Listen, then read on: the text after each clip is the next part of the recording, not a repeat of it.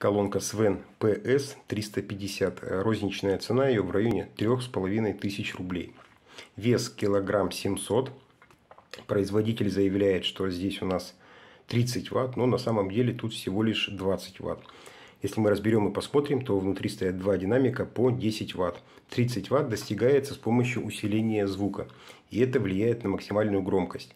На максимальной громкости данная колонка орет хорошо, басиста, но при этом уже звук самой мелодии различается плохо. Э, эта колонка, на мой взгляд, вот по звуку подойдет именно для молодежи, потому что у нее звучание такое басистое и понравится тем, кто привык слушать колонки JBL, где вот этот вот бас – это основное, что требуется от колонки. Корпус сделан полностью из пластика.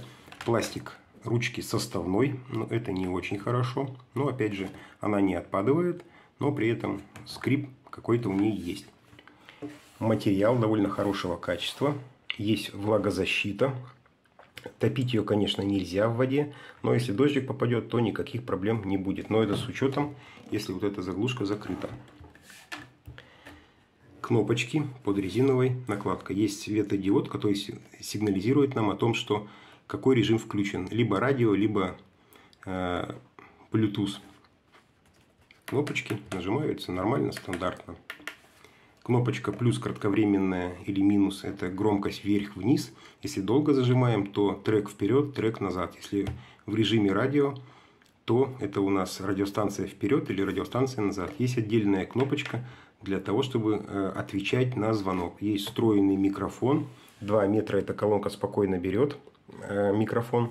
И вы можете спокойно общаться. А вы, естественно, будете собеседника слышать через динамик. Пассивные излучатели. Либо металл, либо металлизированный пластик. Непонятно. Ход довольно маленький. Резина, ну я бы не сказал, что уж совсем качественная. Но такое ощущение, что она, на мой взгляд, не очень качественная, если сравнивать ее с другими колонками. Резиночка мне вот эта не очень нравится. Она какая-то невнятная. И одной рукой ее довольно сложно закрепить.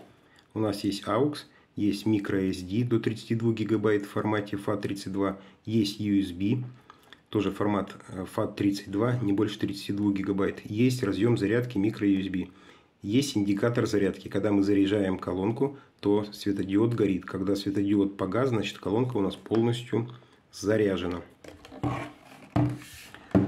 На дне у нас есть такая вспененная подушечка материал. И эта вспененная подушечка мне не нравится. Потому что если поставить ее на что-то неровное, на какую-то грязь, то эта вся грязь царапает эту спененную подложку. И она выглядит не очень уже красиво. По радио. Радио ловит, ну, так скажем, не очень хорошо.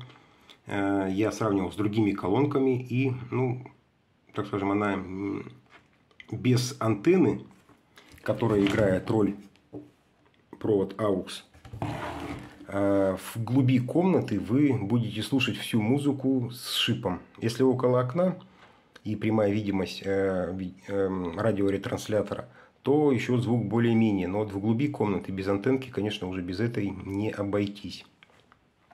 При подключении по Bluetooth в шторке верхней уведомлений в смартфоне вы будете видеть, сколько осталось процентов заряда данной колонки. Но производитель скрывает, какая версия Bluetooth. Э, но, на мой взгляд, здесь версия Bluetooth идет у нас 4.1 или 4.2. Но явно не пятая версия. Ну, не надо переживать. Многие думают, что пятая версия Bluetooth как-то улучшит звук в подобных колонках. Но вы должны понимать, что это колоночки-среднячки. И даже сюда, если встроить какой-нибудь Bluetooth 10 версии, то не особо вы что-то улучшите звучание, потому что все-таки, еще раз говорю, это среднячок, тем более за небольшие деньги. В целом, колонка мне нравится, я ей пользуюсь, и моя семья пользуется около года. Никаких нареканий к ней особых нет, кроме того, что вот на большой громкости захлебывание у нее идет. По автономности заряжается она в районе двух часов – на максимальной громкости она может проработать где-то около 3 часов.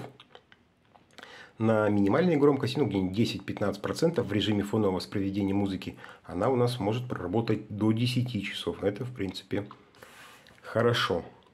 До свидания.